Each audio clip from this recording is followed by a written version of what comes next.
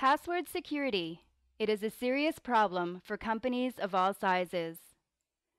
Your employees are typing passwords numerous times a day on mobile devices, exposing them every single time to security breaches and putting your company at risk.